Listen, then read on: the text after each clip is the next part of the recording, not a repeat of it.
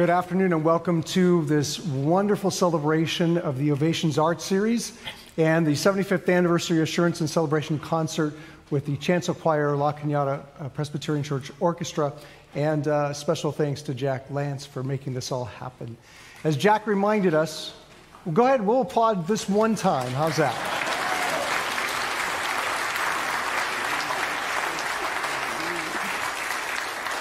Well, two, two times. We'll applaud at the end like you won't believe, but for right now. Jack did remind us that this is a, uh, this is a worship service, that we are here to worship God. And so we'll do that. Hold your applause to the very end. Uh, and uh, as we begin today, let's begin in prayer. Would you bow with me in prayer? Almighty God, we thank you for this opportunity to be here. We thank you for the opportunity to celebrate you with the music throughout the centuries for those composers who have put together beautiful music that we celebrate that have penetrated this world and brought us into your glory. And we do pray, Holy Spirit, you bind us together and unite us as one congregation here, that as we sing, as we hear the music, that we would be lifted above this earth into your presence. And uh, we just thank you for this. Bless us in this day that we might bless you for your full majesty. We pray in Christ's name. Amen. Please join me in the uh, call to worship. Great is the Lord and greatly to be praised. One generation shall praise your works to another. All your works praise you, Lord. Your you. They make known the glory of your kingdom. Your My mouth shall speak praise of the Lord.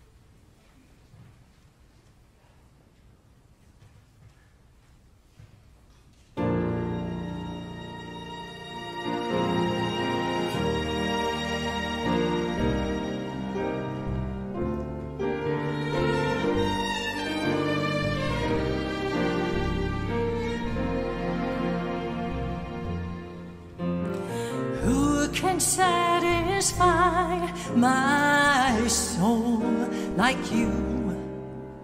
Who on earth could comfort me and love me like you do? Who could ever be more faithful to?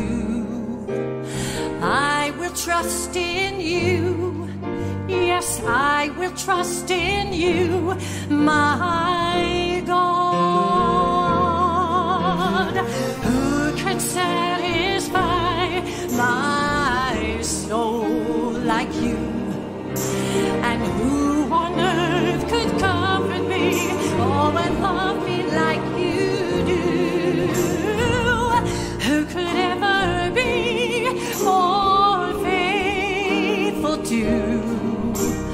I will trust in you. Oh, I will trust in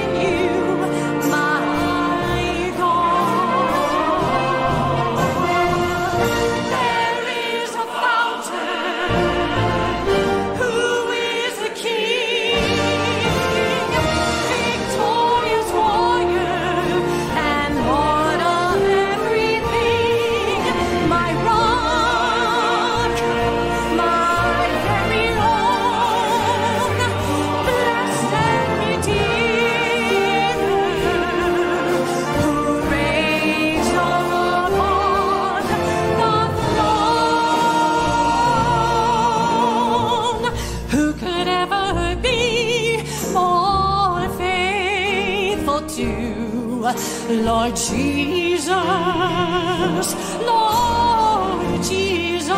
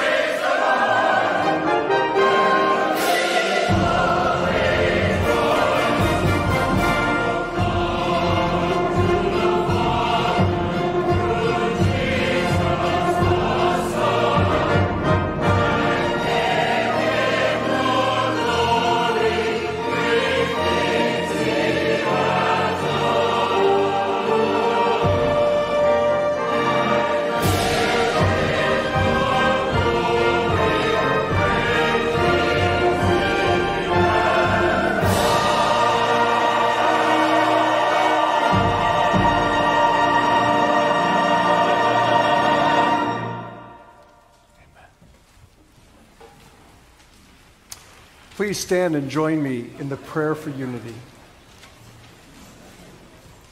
Lord, we pray for the unity of your church.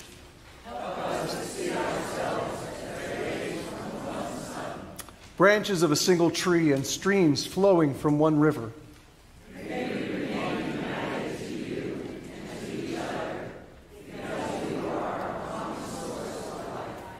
And may we send out your light.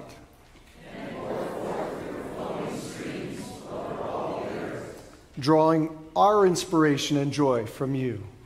Amen. Let's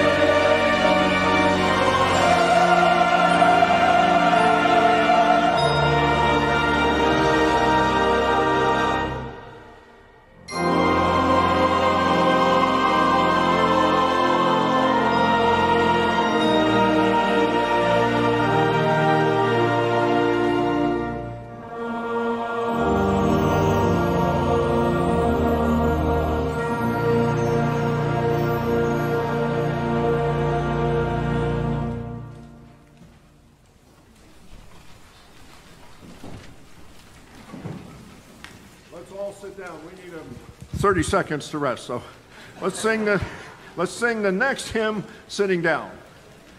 Lustfully, but sitting down.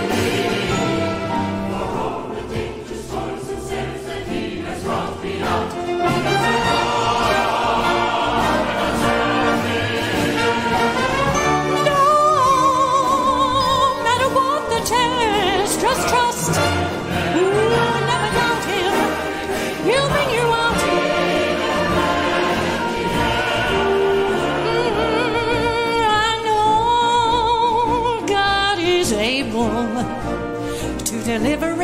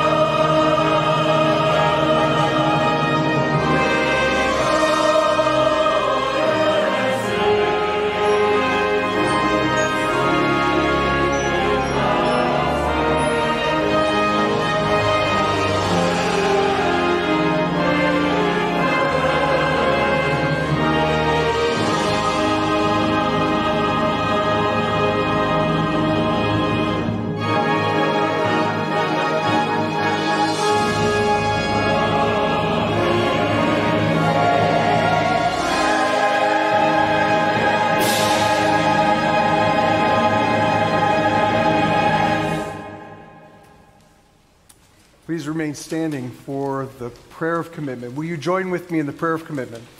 Almighty God, we thank you.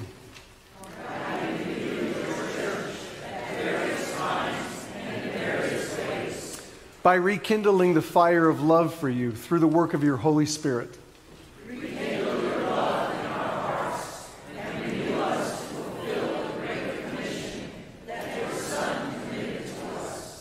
So that individually and collectively,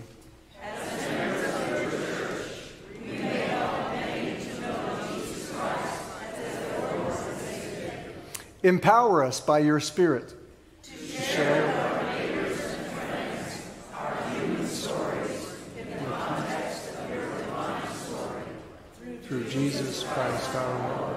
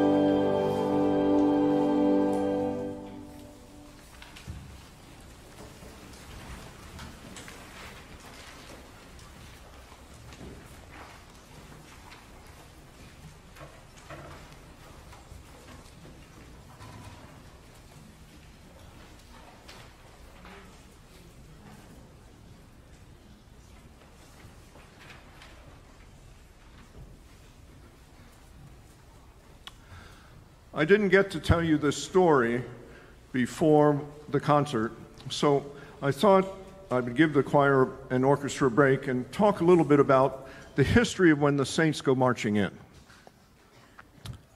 Who wrote it? That's a trick question. Nobody knows. Music historians shrug off the authorship question. They say the saints probably started as a spiritual sung by African American slaves longing for the day they'd see their loved ones in heaven, and it evolved into a post Civil War gospel song. But a guy named Thomas Cunniff has a different theory. In the late 1800s, Archbishop Francis Janssens in New Orleans established several Roman Catholic churches for black congregations, with black clergy singing the Latin Mass. After Catholic funerals, mourners would gather at the graveside where the choir, of course, singing in Latin, would chant In Paradisum. The Latin translates as, May the angels lead you into paradise. That in paradisum that they used was the opening lick to when the saints go marching in. As we know, brass bands in the late 1800s also established the tradition of the jazz funeral, accompanying mourners through the streets to and from the cemetery. Cunniff suggests that they may have ripped, riffed on the opening notes of this In Paradisum while leading the procession out of the cemetery, improvising into creation the hymn we know as When the Saints Go Marching In. It's an interesting theory. No one will ever know the answer, but I think Cunniff may have something here. And now we will do our version of it.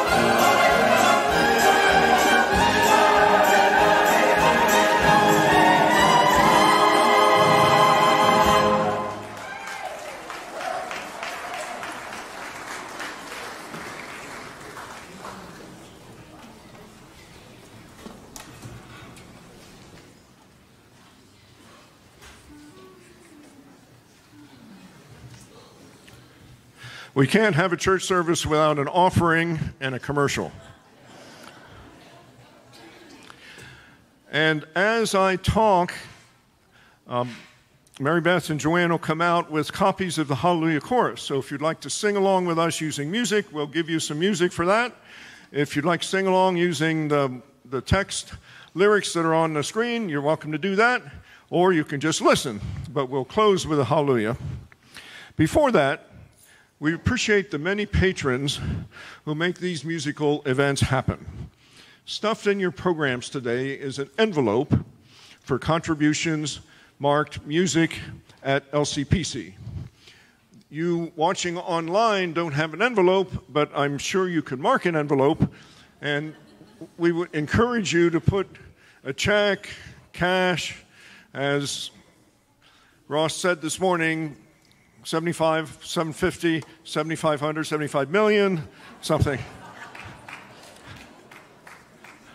but we appreciate your generosity because it makes these things happen.